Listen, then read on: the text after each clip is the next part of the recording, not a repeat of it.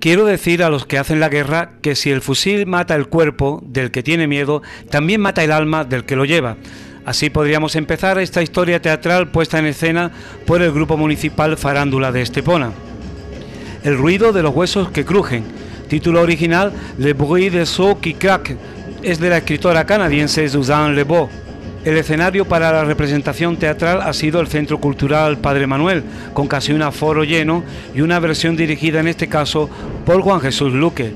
En el reparto, Raquel Holgado en el papel de Eliquia, Hernán Moraleda como Joseph y Natalie Martín encarnando a Angelina.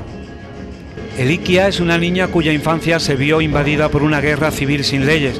Separada de su familia, se convierte en niña soldado, en víctima y verdugo una obra a dos voces que refleja una dura realidad, pero también una luz para la esperanza.